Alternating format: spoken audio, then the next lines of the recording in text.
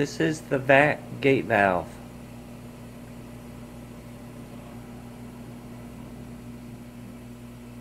It requires 24 volts DC and roughly 80 90 pounds air.